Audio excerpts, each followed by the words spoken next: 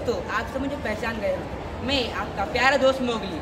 अब मैं शहर में रहता हूँ, पर आज मैं अपने दोस्तों से मिलने फिर एक बार जंगल आया हूँ।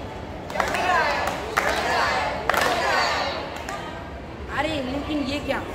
एक समय का हरा भरा रहने वाला जंगल अब वीरान हो चुका है।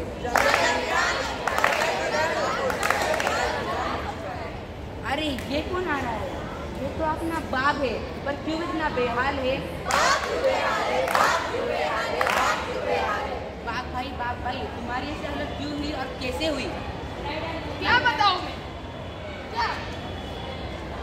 रहने को बचा है जंगल और ना खाने को वन पानी पीने अगर मनुष्य वस्ती के पास आता हूँ तो आदम पर कर कर मारा जाए क्या करे? बाप का अस्तित्व ही खतरे में है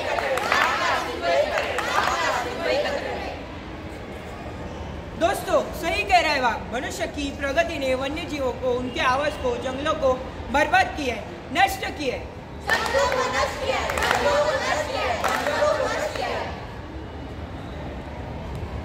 घटते आवास के कारण मनुष्य बस्तियों के तब आने वाले बाघ मारे जाते हैं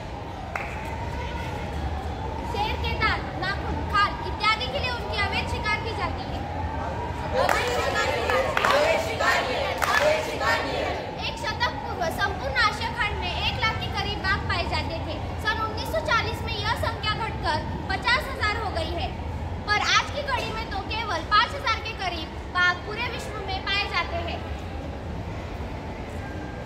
इनमें से पचहत्तर प्रतिशत के करीब बाघ हमारे देश में पाए जाते हैं। इसलिए इनका जतन और जनवर्धन संवर्धन करने की ज़िम्मेदारी हमारी सबसे ज़्यादा है।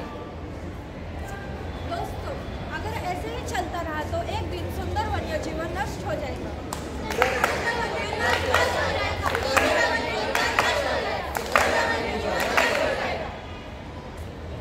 इसलिए आज के घड़ी का यह नारा बाघ बचाओ जंगल बढ़ाओ। आइए